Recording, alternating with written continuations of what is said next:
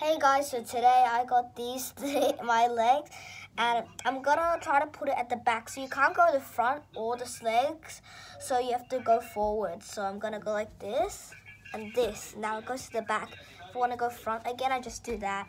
Anyway, hope you enjoyed the video. Comment, like, and subscribe, and I'll see you guys later. Bye!